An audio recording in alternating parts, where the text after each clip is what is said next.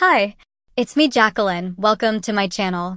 If you're new to the channel, then please subscribe my channel and visit my Patreon page, link in the description. I didn't wake up with a splitting headache the next morning, as I had after my night of wine drinking, but my scalp hurt from sleeping with the curlers all night. As I sat up, another difference from yesterday was immediately noticeable. The semi-transparent bodice of the nightgown, which yesterday just flopped emptily against my chest, was now filled with breasts, my breasts. The weight of the forms pulled at the skin of my chest and the breasts swayed while I walked to the bathroom. I felt really humiliated. I had lost what I thought was a simple bet, and now I would have to dress and act like a girl for 10 more days. Further, Lisbeth was in charge of virtually everything that I did and could choose to humiliate me more if I didn't cooperate. I couldn't help but wonder if she had a more malicious agenda. After washing the sleep from my eyes, I put on the lightweight gown and mules and walked downstairs. Good morning, Ashley Michelle, Lisbeth said cheerily as I neared the bottom of the stairs. Morning, Lisbeth. What's for breakfast? Eggs, cereal, pancakes, and French toast.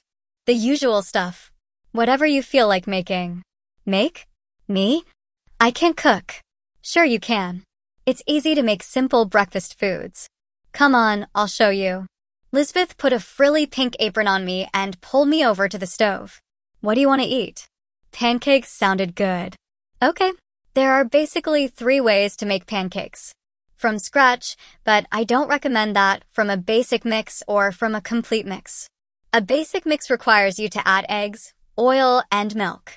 A complete mix only requires water. The complete mixes have gotten so good over the past 10 years that you can hardly taste the difference between it and the basic mixes that require fresh eggs and milk.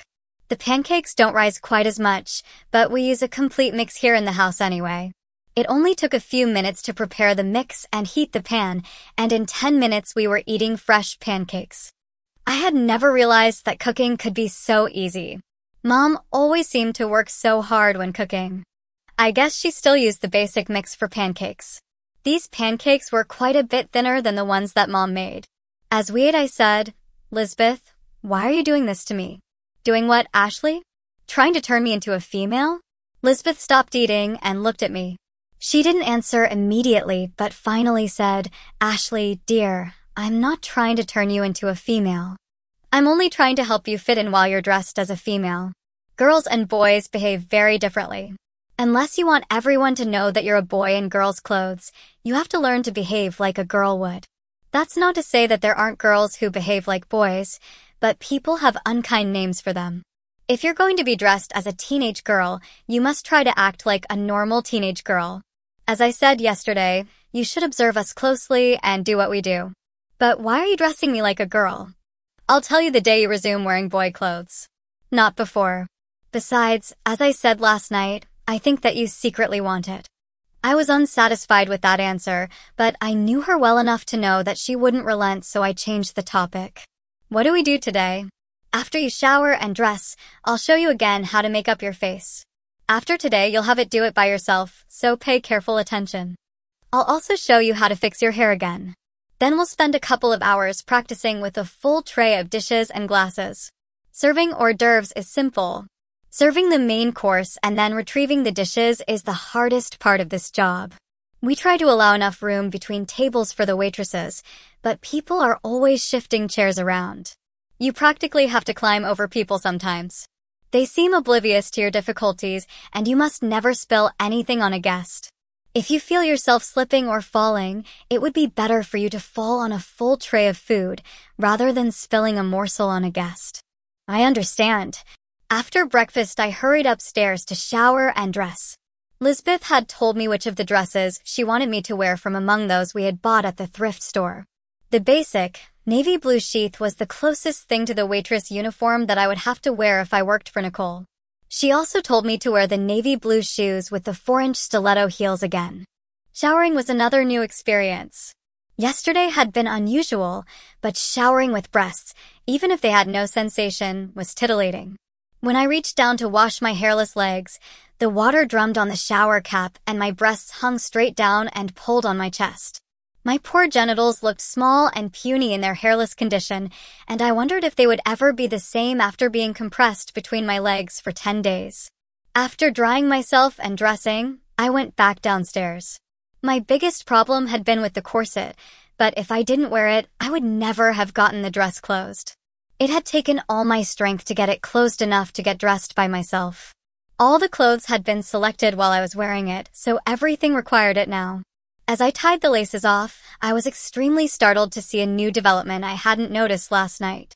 Because the breast forms were attached to me like real breasts, and the corset pushed everything up and out, a dramatic cleavage had appeared where the real skin from my chest was pulled by the forms.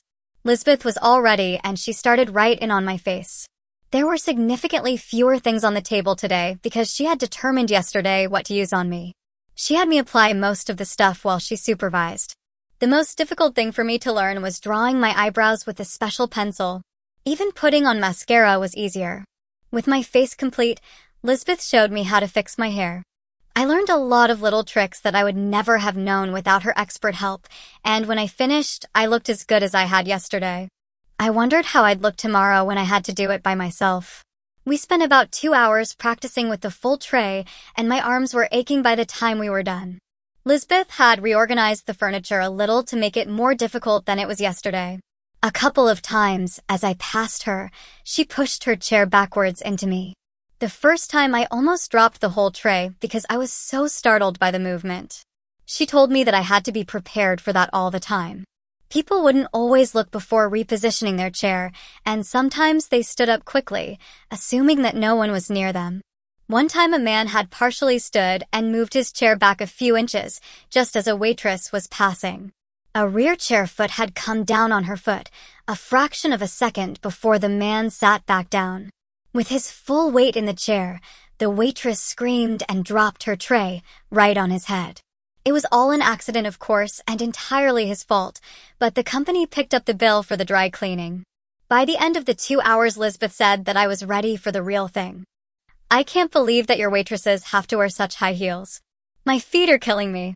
They don't. Tomorrow you'll wear a flat-soled shoe like a running shoe. Running shoes? Then why did I have to practice in four-inch heels? Because it makes it more difficult to keep your balance. That's what you were practicing. Today you're practicing on a nice, flat, solid floor. Tomorrow you'll be serving in a grass-covered yard. There will be times when the surface will seem like you're walking in heels. You encounter clumps of grass and solid chunks of soil that will try to upset your balance. Oh! Don't worry, you'll do fine. You can take all the time you wish when serving the hors d'oeuvres. You'll only have to rush when serving the main entree. Picking up the dishware afterwards can be done at a more leisurely pace. Okay, what now? It's almost noon. Nicole will be here to pick us up soon. We need to get a few things. What sort of things? You'll need some shoes for the 50s dance, for one thing. You can't wear any of your present shoes with that black gown. I can't even fit into that dress, remember? The waist was inches too small. I know, but the corset can be closed down enough so that you can wear the dress. But I can barely breathe now. Oh, Ashley, we can easily take you down a couple of more inches. By Sunday, you'll be used to the way that you currently wear the corset and a couple of more inches won't be bad at all. I think that I should skip the dance and I don't have any money for more clothes. That's okay. Nicole is going to advance you the money on your salary. You'll need a pair of work shoes also in order to waitress. Now hold on. I agreed to spend up to my $200, but that's all. I don't mind buying the work shoes, but I draw the line at buying shoes for a dance. Our agreement was that I'd pick out your clothes and you'd pay the tab. I only applied the $200 limit to my liability. We can watch the tape if you want. Besides Ashley, honey, no real women would be caught dead wearing anything but the right shoes with that black gown. You have to have the proper shoes, or every woman there is going to be trying to figure out why you don't. Do you want to go through that kind of scrutiny? I didn't want to call extra attention to myself, I was scared enough as it was. Okay, Lisbeth. We'll buy the shoes. Good girl. You'll need some stockings too. The one pair that I gave you aren't going to last. We might as well pick those up while we're out. Don't worry. I'll keep track of how much you spend, she said, smiling.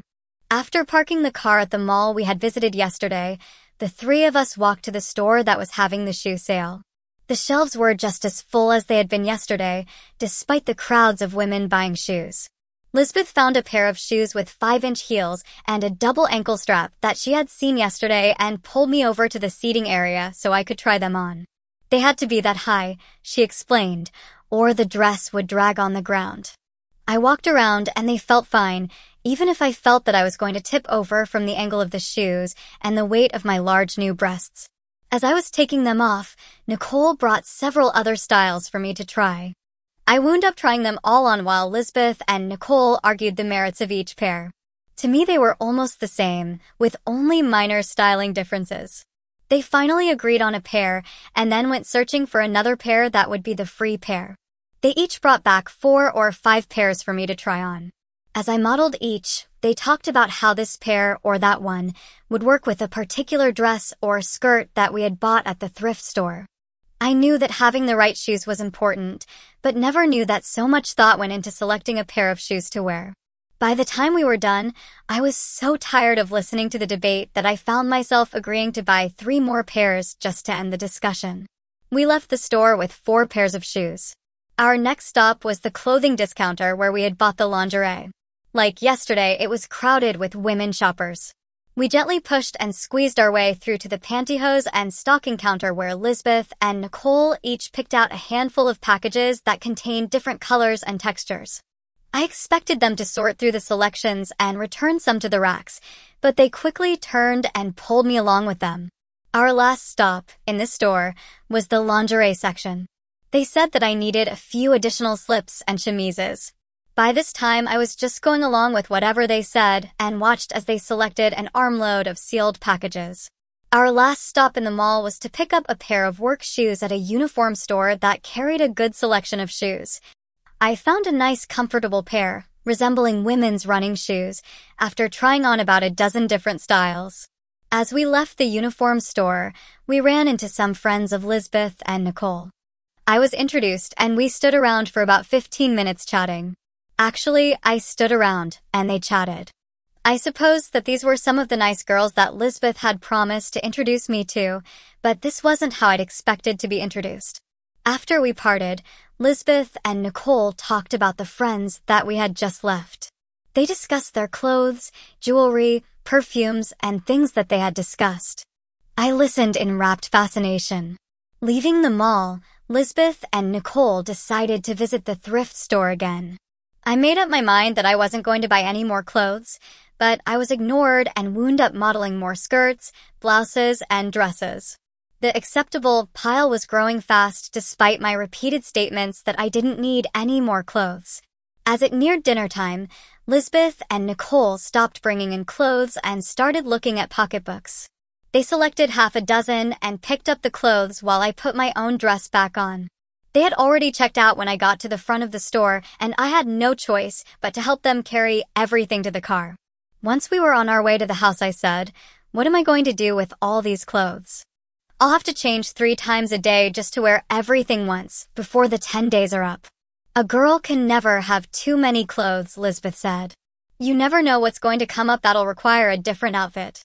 With the things that you bought today, you can mix and match skirts and blouses, and you'll be set for almost any situation. I gave up and just stared out the window. In 10 days' time, I was going to have a hundred pounds of clothes that I couldn't use. I guessed that I could always donate them to the same thrift store. I was pressed into service to help prepare the evening meal since Nicole hadn't prepared anything in advance. She showed me how to cut up a whole chicken and then ready it for cooking. We mixed up an egg and flour batter to coat the chicken and then lightly sprinkled on flavored breadcrumbs. I also helped prepare potatoes for a casserole and steamed broccoli. I felt very proud of myself for my participation in cooking the meal, feeling that I could do it alone next time if I had to. After dinner, Suzanne had to go to the hospital to assist in an operation, and Nicole had to go to her shop to do some preparation work for tomorrow's wedding reception. Lisbeth and I did the cleanup and put the leftovers away. When we were done, Lisbeth said, I have to get ready for a date. Would you do me a favor? Sure. Thanks, Ashley. Put on your black miniskirt with the gold chain belt and your plum blouse. Those heels are fine, but put on a pair of the smoke-colored stockings that we bought today and wear the two gold necklaces that I loaned you. Wear the watch, bracelet, and rings that I lent you also. And fix your hair and makeup. When my date gets here, please let him in and offer him a beverage. Then just keep him company until I'm ready, okay? Okay. Thanks, Ashley. I'll do the same for you someday. I thought to myself, I don't think that will be necessary, but I didn't say anything. I was brushing my hair when the doorbell rang. I was all dressed and just finishing my grooming. I hurried to the door and opened it. A guy that looked to be about 18 was standing there. I said, yes. Hi, I'm Larry. I'm here to pick up Lisbeth. We have a date tonight. I stepped back, opening the door so that he could enter. Come in, Larry. I'm Ashley. He stepped into the house far enough so that I could close the door. He was handsome, with dark hair and a quick smile. He looked to be about five foot ten. I thought that Lisbeth only had two sisters. She does. I'm her cousin from Massachusetts. I'm just visiting. I'm pleased to meet you, Ashley. I can see that beautiful women run in your whole family. Mostly we walk, I said, smiling. It was an old joke, but Larry started laughing like it was the funniest thing that he'd ever heard. That was great. I don't meet very many witty blondes. Especially beautiful, witty blondes. Really? Half the blonde jokes in the world have been created by people observing blondes who are trying to be witty and funny. Blonde jokes are my specialty. Honest? Tell me some. Okay, but let's go into the living room. Lisbeth should be down in a few minutes, and I don't want her to think that I'm not being a proper hostess. Would you like something to drink? Soda? Juice? Lemonade? Nothing thanks. Just tell me your favorite blonde jokes.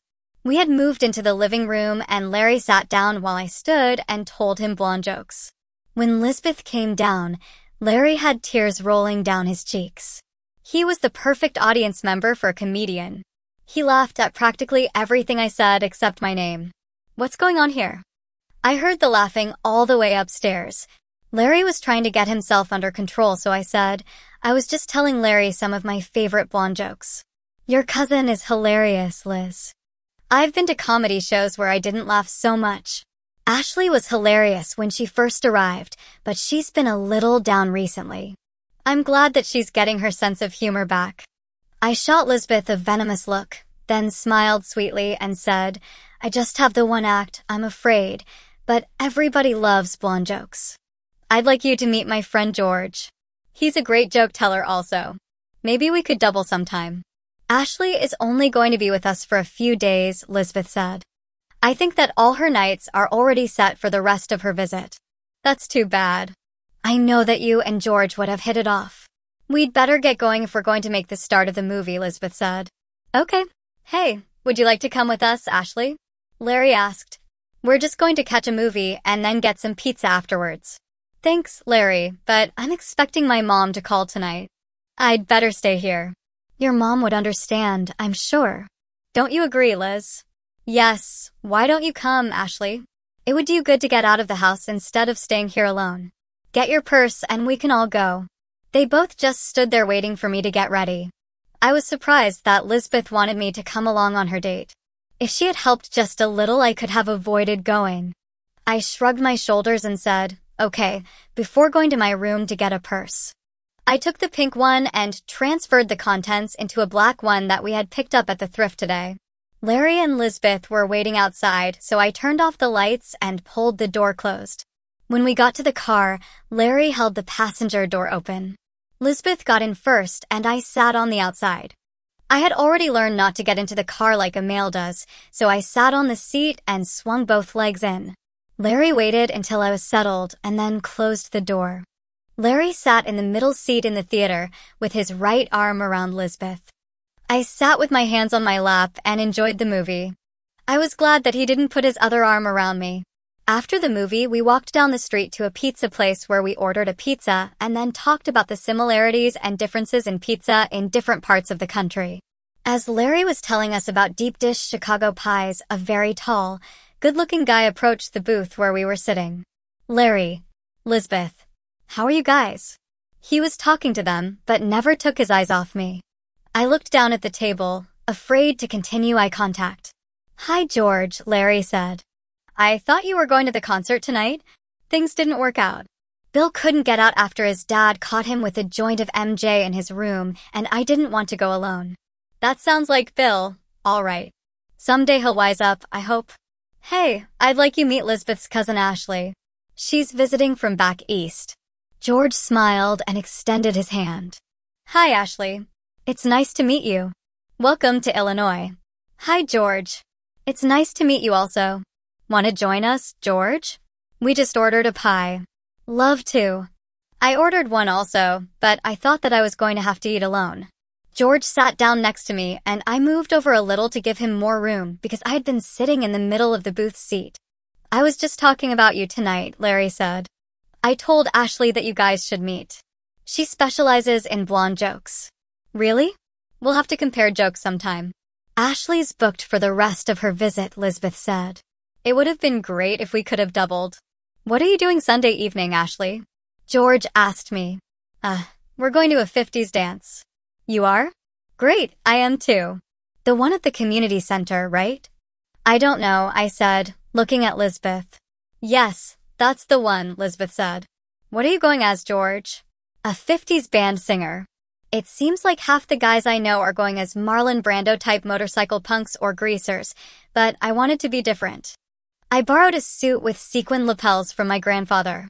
The pants are pegged and I even got one of those extra skinny ties that they wore back then. Wow, that would fit right in with Ashley's costume. She's going as a movie starlet in a black gown. Cool. Hey Ashley, would you go with me? Of course she would, George, Lisbeth said. Larry is coming for me at 7.30. Why don't you come over then? Cool, I'll be there. Ah, uh, here's one of the pies we ordered.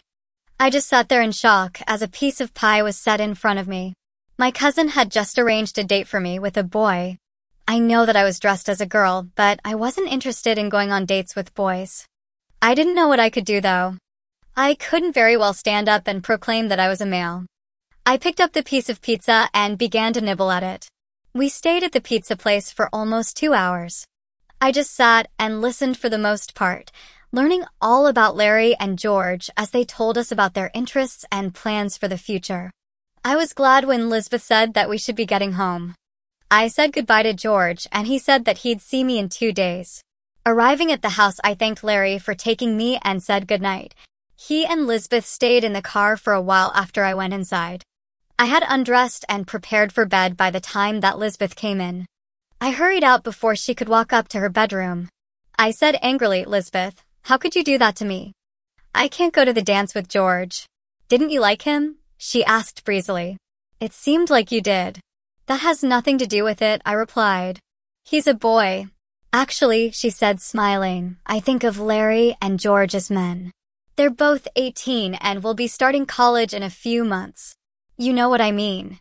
Oh, Ashley, the dance will be more fun if you have a date. Otherwise, you'll just sit around watching everyone else dance. This will be more fun. Trust me. But what about after the dance? What about it? You know. She just stared at me. He'll expect me to kiss him. So kiss him. But he's a boy. I can't kiss another boy. Ashley Michelle, she said seriously, you know very well that you don't look anything like a boy.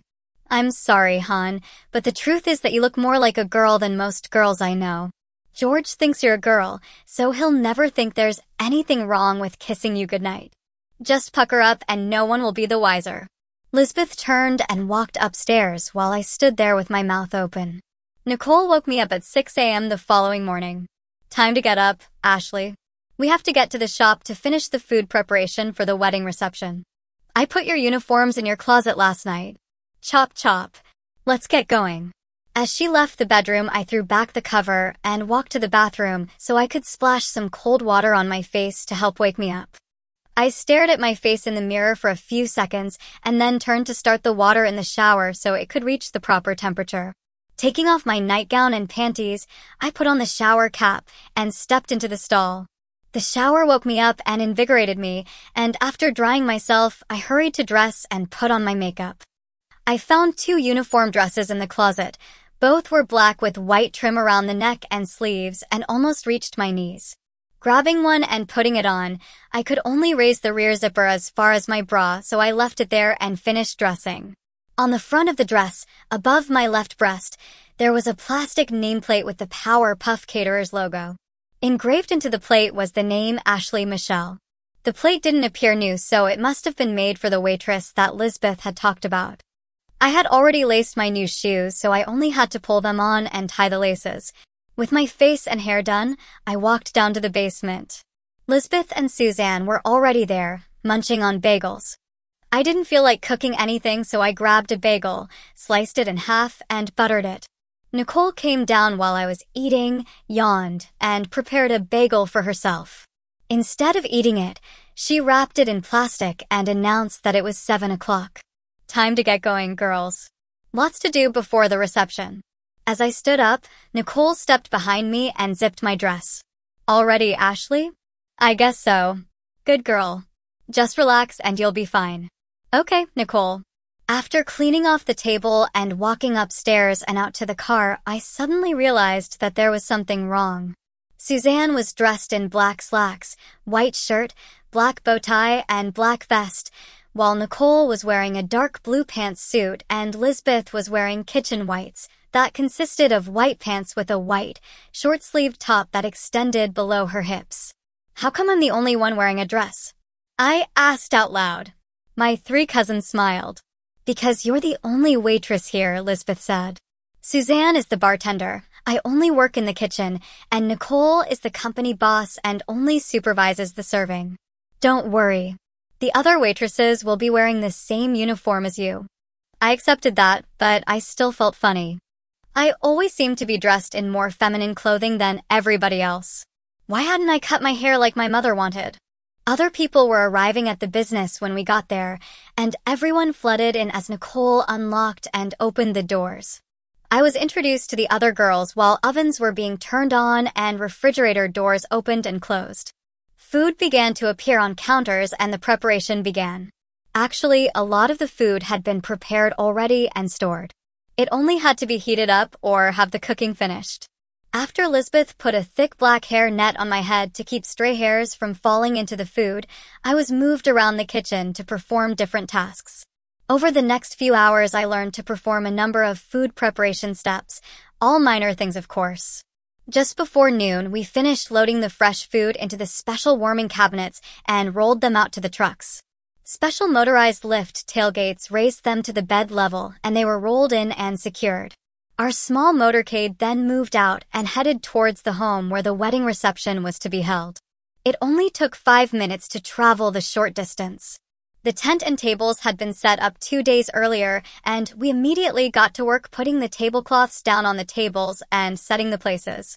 The guests started to arrive as the other waitresses and myself were finishing the preparations, but so far no one had looked at me with the slightest suspicion, and I was feeling more confident with each passing hour. Since the weather was so nice, we would be serving the hors d'oeuvres to guests on the lawn outside the tent. I was given a tray by one of the kitchen people at a workstation erected near one of our trucks, and I carried it to the area where the guests were standing or sitting. Just as I had practiced, I served tray after tray of finger food. When people were sitting, I bent at the hips and pushed my tush into the air. I caught glimpses of men staring at me from time to time, so I assumed that I was doing it right. I felt ridiculous, but I noticed that the other waitresses were doing the same thing. It made me think about the way that women use their bodies and clothing to entice males. It must have been two hours before the wedding party arrived. I suppose they had gone to take the wedding pictures at a studio or special location. As soon as we had filled water glasses, placed baskets of rolls on tables, and put out butter and condiments, Nicole stepped outside the tent and held up a chime, striking it with a small metal bar. People immediately started filing into the tent. Someone had put place cards down and people began looking for their assigned seats at the tables. Once everyone was seated, the bridal party was introduced by Nicole and they walked through the tent to the head table as the guests applauded. We immediately moved through the tent pouring wine for the toast. With the initial formalities completed, we began bringing in the entrees as quickly as we could. The guests had their choice of prime rib, chicken, or vegetable lasagna. I was carrying in the chicken dinners and asked everyone who didn't already have a plate in front of them if they wanted chicken. When everyone was served, we slowed our pace considerably, just refilling glasses, coffee, and teacups or bread baskets as needed. After everyone had finished eating, we moved in again to remove dinner dishes and pour more beverages. The wedding cake was rolled in and we got out of the way as the post-dinner ceremony started. When the cake was cut into slices, we again moved in to carry cake to all the guests.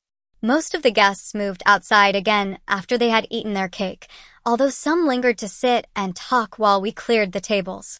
Suzanne and the other bartender continued to serve drinks while everything was packed up and loaded into the trucks. Guests had already begun to leave and the crowd had thinned considerably by the time Suzanne and the other bartender began packing up the bar at six o'clock. We quickly loaded the last truck and headed back to the shop. The next few hours were spent in emptying the truck and cleaning everything in preparation for tomorrow's catering activities. It was after 10 o'clock when we arrived back at the house, and I was exhausted after putting in the hardest day that I had ever worked. We ate a dinner of leftover food from the wedding meal and then went to bed. I decided to shower before getting into bed because I wanted to get the smell of food off me and out of my hair. As I showered and shampooed, I realized that at some point during the day I had stopped worrying about anybody discovering my true gender. I had been accepted by everyone as just another teenage girl, for the first time, I began to wonder what I was going to do when the 10 days were up if everyone believed me to be a girl. Before I climbed into bed, I put my hair up in rollers. 6 a.m. came long before I was ready for it, but I got up quickly and prepared for the new day. I showered again, did my makeup, and then my hair. I just had time for a toasted bagel and glass of juice before we had to leave for the shop. Today's job was a luncheon party at a local park as part of a class reunion gathering. We had cooked the food and left for the park by 11 o'clock, so by noon we were serving lunch to 220 people. We were finished and on our way back to the shop by 2 o'clock. Everything had gone very smoothly, except for one small incident. As I was leaning over a table, replacing an empty bread basket with a filled one, a man pinched my tush. It didn't hurt, but I was startled and my sharp intake of breath was noticed by everybody at the table. A woman sitting next to the mischievous assailant, whom I estimated to be about 50, said to him, If you pinch another young girl, I'm going to start sharpening my Lorena Bobbitt commemorative wiener trimming knife. Everybody laughed, and the man, a bit red-faced at having been caught and publicly ridiculed, apologized to me. We had completed washing everything and were back at the house by four o'clock. Tonight was the 50s dance, and I would have preferred not to go, but everyone was insistent so I resignedly started to get ready. I took a shower, shampooing my hair twice to get the smell of chicken and grease out of it, but I didn't put it up in rollers because I knew that it wouldn't be dry enough by 7 o'clock to work with. I hated blow dryers, preferring to let my hair dry naturally, without the heat that can damage it. I dressed in my now normal underwear of garter belt, stockings, panties, bra, control brief, chemise, and corset. I still hadn't gotten used to having to wear a bra to support the heavy breast forms all the time and wished that I hadn't agreed to have them glued on. Lisbeth hadn't told me to wear anything in particular for now, so I put on a denim miniskirt and light blue blouse. The skirt was the closest thing to jeans that she'd allow me to wear. The only blue shoes that I had were the navy ones with the 4-inch heels, so I put those on. I certainly couldn't wear pink, brown, or green shoes with blue denim. As we begin to eat dinner, Lisbeth said to me, Ashley, drink very little. You're not going to be able to use the bathroom at the dance with that dress on. You'll have to strip completely down to relieve yourself. I don't think that I'm going to be able to fit into that dress anyway. Can't I wear something normal? Please, Lisbeth. No, you have to wear a 50s costume or you can't get in. Great. I'd rather stay home tonight anyway. I'm really exhausted. You're just nervous because it's your first date. It is not. It's just my first date with a boy. Suzanne, Nicole, and Lisbeth all giggled at my discomfort. I can't believe that I'm doing this, any of it. I can't believe that my own cousin arranged for me to have a date with another boy. Not another boy, a boy, Lisbeth said. You're a girl for another eight days. Remember that, or you might slip up. Just keep telling yourself that you're a beautiful young woman on a date. Smile, giggle, laugh, and have a wonderful time. I scowled. Don't make faces like that, Susan said. It makes crease lines in your face and will hurt your natural beauty. I scowled again, but instead of lecturing me, they just giggled. Once the kitchen was cleaned, the others went upstairs to begin getting ready. I relaxed and watched television until Lisbeth called me upstairs. She was nearly ready and wanted to help me dress before she finished. She was still wearing a bathrobe and only had to put on her 50s clothes. I followed her to my bedroom. Lisbeth, I'd really rather not go. My stomach is doing flips. I can't go out on a date with a boy. She looked at me. I know what you need. She left the bedroom and returned a few minutes later holding a prescription medicine bottle. Nicole was given these after hurting her back during a struggle with a suspect while she was a police officer. They're some kind of muscle relaxant, and I know that they always mellow her out. After struggling for a minute with the childproof cap, Lisbeth was finally able to remove a tablet and, using a butter knife that she had brought along, she cut or broke it in half, putting one half back into the bottle. Retrieving a cup of water from the bathroom, she handed me the half tablet, which I popped into my mouth and swallowed with help from a small sip of water. You'll feel a little better very shortly. Now, let's get you dressed. I removed the denim skirt, half slip, and blouse after kicking off my shoes, leaving me in just corset and underwear. Lisbeth quickly untied the laces of the corset and removed it so I could replace my bra with a black strapless bustier. Lisbeth then replaced the corset and began pulling on the laces with all her might. It felt like I was being cut in half, just like the tablet that she had sliced in half. She pulled and tugged despite my protests and pleas for her to stop. Just take shallow breaths and relax. I managed to say, shallow breaths is all I can manage. I can't do this. Loosen this thing. You'll get used to it in a little while. Just walk around and breathe evenly while I go find a tape measure. After tying off the laces, Lisbeth left me standing there as she went to look for the tape. I walked around for a few minutes and then began to wonder why the muscle relaxant hadn't kicked it. Picking up the bottle, I fished out the other half of the tablet and popped it into my mouth, then took another small sip of water from the cup just before Lisbeth returned. Found it. Let's see what we have here. She wrapped the tape around me and exclaimed, Wonderful. We only need about another inch and the dress should close. Another inch? Lisbeth, I can't breathe now. Oh, stop complaining.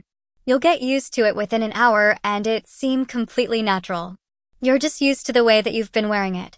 Try to breathe more often, taking smaller breaths. She untied the laces and started pulling again, and as I felt the corset getting tighter, I knew there was no way that I'd get used to this in an hour.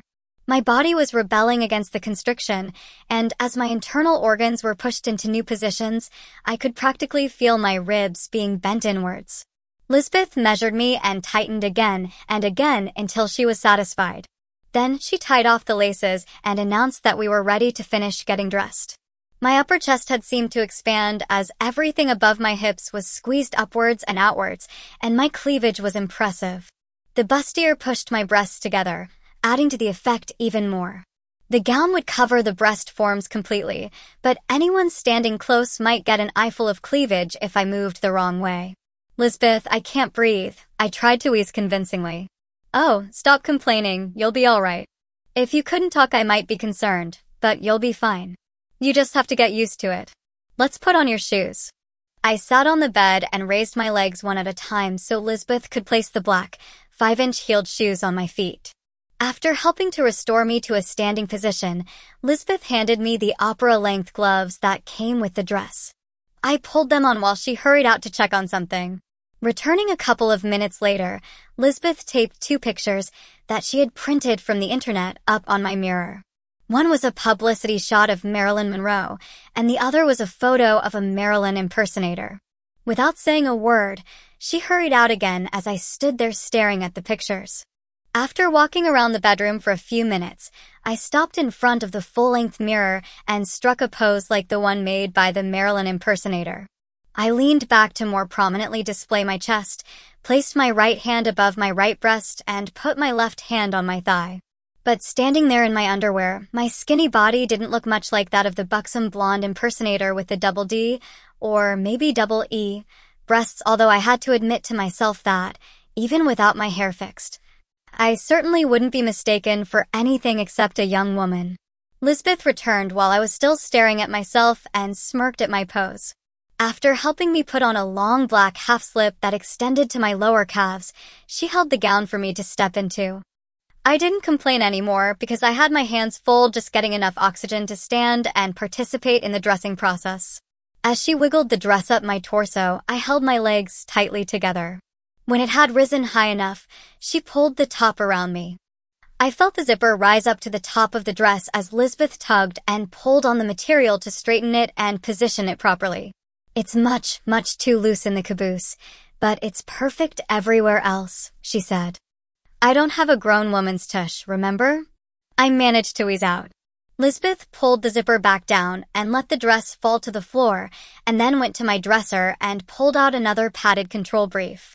I'm already wearing a padded brief, I said. I know, but you need more padding. This should help. Left your left leg. I raised my legs one at a time, and she pulled the heavily padded brief up, lifting the slip to position it. Then she dropped the slip and started raising the dress again. As she pulled the zipper up, she said, Ah, much better. The dress fits perfectly now. You have a real hourglass figure at 36-21-37. You're going to look like Marilyn Monroe with that blonde hair. I can't believe that any real woman actually had these measurements, I said. Back in the 50s, 19 and 20 inch waists were common among young women in their early 20s. These days it's rare to find one that has less than 23 inch waist, and most are 25 inches or more. Too many Big Macs with supersized fries while in high school, I guess. Staring at the bottom of the gown, she said, perfect. The dress hem is at least an inch off the floor. The four inch heels wouldn't have been enough. Steering me over to the mirror, Lisbeth positioned me so I could see my reflection. Everything had combined to give me an hourglass figure of salacious proportions. The corset and bustier had seemed to add immensely to the C-cup size, and if it didn't look like I was busting out of the dress before, it sure did now. I tugged at the dress to see if it would fall at an inopportune moment, exposing my chest, but it didn't give at all. I guess there was no way that the tight gown could slip down over my breasts. I felt like one of Bill Ward's exaggerated cartoon women. Even without my face and hair ready, I looked incredibly sexy. God, what was I thinking? Fix your hair and put on your face. I'm going to get ready. I can't do this, Lisbeth, I said desperately. I can't. I'm still a boy underneath, regardless of how I look. Not tonight, you're not. You're a beautiful, sexy woman. Say that. I looked at her for a second. It was obvious that she wasn't going to relent and let me stay home.